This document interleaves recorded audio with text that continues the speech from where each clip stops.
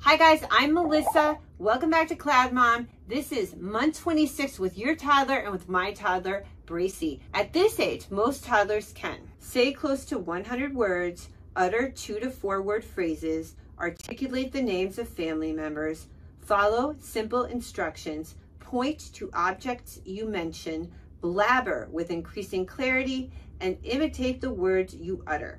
If you notice that your child is not using two word phrases and doesn't seem to have any new words popping up, check with your doctor. If your child is suffering from speech delay or a hearing problem, early intervention is key. Here are some speech activities for a 26 month old toddler sing, dance, read, read, and read some more, and avoid the TV, iPad, and iPhones. Books are best. Nursery rhymes are a phenomenal way to stimulate your child's speech and language development. It isn't for nothing that these little songs have become so famous and passed down from generation to generation.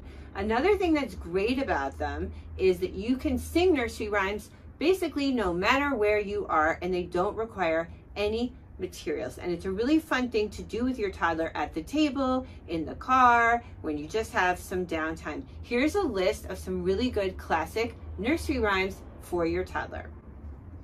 Head, shoulders, knees, and toes, the ABCs, Old MacDonald had a farm, Frere Jacques, London Bridge is falling down, the wheels on the bus, Itsy Bitsy Spider, Ants Go Marching, Row, Row, Row Your Boat, and Humpty Dumpty physical development when it comes to a 26 month old toddler. At this stage, you should continue to see your toddler becoming more strong, becoming more agile, getting better at all the things they do every day at home and in the park.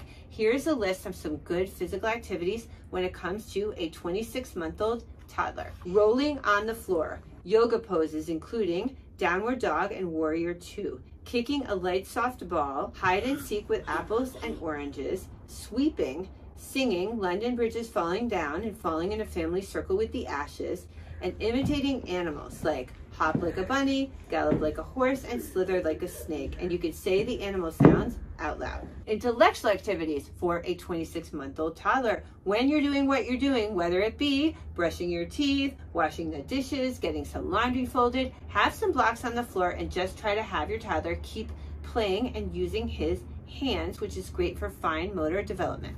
Your 26 month old's social and emotional development.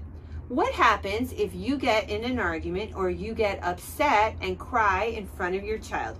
Toddlers need to grow up in a normal and a real environment. And if by chance someone gets upset, that's a really good opportunity to talk to your toddler about feelings, to explain what it feels like to be sad, to explain how you have to work through that and try to figure out what's making you sad and try to get yourself to feel better. And also, how if someone else is being sad or feeling sad, you have to work to make them feel better. So, what these kind of emotions should be is a trigger to have a very healthy and meaningful discussion about emotions with your toddler. Don't try to act as if they don't exist.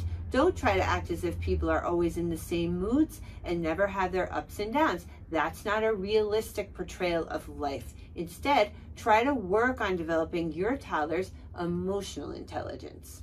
What do I do if my toddler hits or bites? There are some activities that are a categorical no no.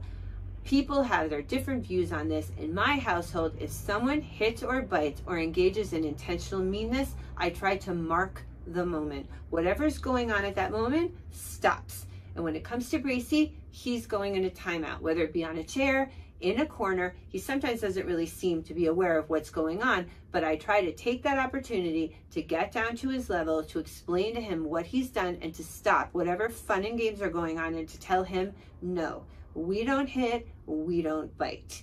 And I think that's a good thing generally to do if your child has become a chronic hitter or a biter, I would talk to my doctor about it because you really want to get on top of this type of aggressive behavior. Some amount of aggression is normal, but if it's very repeated hitting or biting, it's definitely something that you want to bring up with your doctor. and to develop a strategy for. If you do decide to discipline your child in the way I'm suggesting, such as with a timeout, try not to create so much drama and attention around that moment. Try to just discipline your toddler, stay calm, and not make it something that your toddler seeks out because they're getting a lot of attention and they want to be the center of attention. That's a really important component when it comes to disciplining a child this age. What should my 26 month old be eating? The same wide variety of foods, lean meats, fresh fruit, fresh vegetables, all different sorts of dairy. Keep the sugar low, get rid of the white flour, the white rice. Try to go for whole grains and try to just keep it as varied and as fresh as you can. What's my schedule with my 26 month old toddler? 7 a.m., wake up, breastfeed if you're still breastfeeding, and have breakfast or milk. 10 a.m. snack, 12 p.m. lunch, then a nap, which is probably going to be about an hour and a half to two hours long. 3 p.m.